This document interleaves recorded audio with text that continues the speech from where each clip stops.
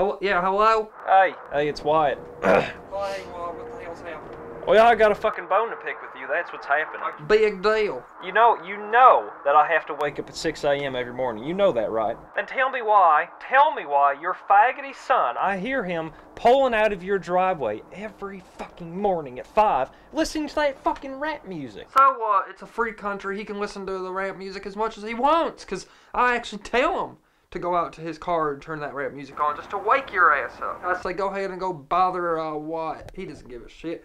I want to. I want that pretty boy swag in his room. Dude, you tell me, tell me right now, is it Peter Sr. or is it Peter Jr.? Which one is it?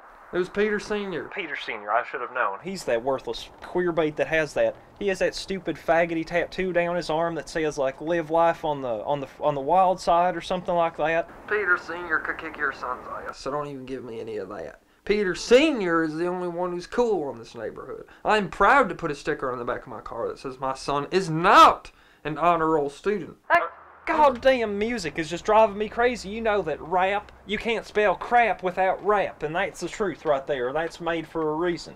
And I thought you liked rap music, man.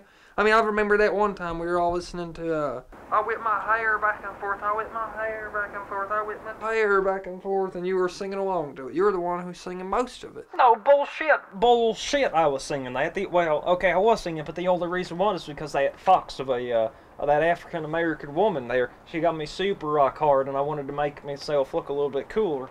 Uh, like I know part of her culture. That was the only reason. That's the only rap song I knew because your faggot ass was singing it all night long.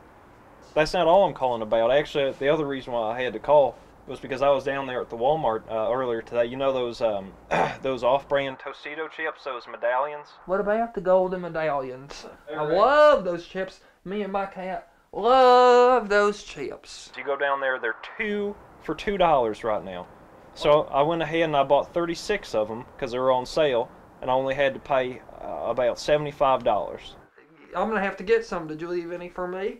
I pretty much already bought them all, but uh, there was a few bags left over, and I, That's I, a, that, that's a good deal. oh yeah, it's it's an awesome deal. Um, we're thinking about having, uh, well, What is that noise on that phone? that's your mother's vibrator. That that means it's time for me to go because she's getting herself warmed up, and uh, I can't be having that. So I'm gonna have to give you a call later, okay? Uh, for you. All right, we'll see you.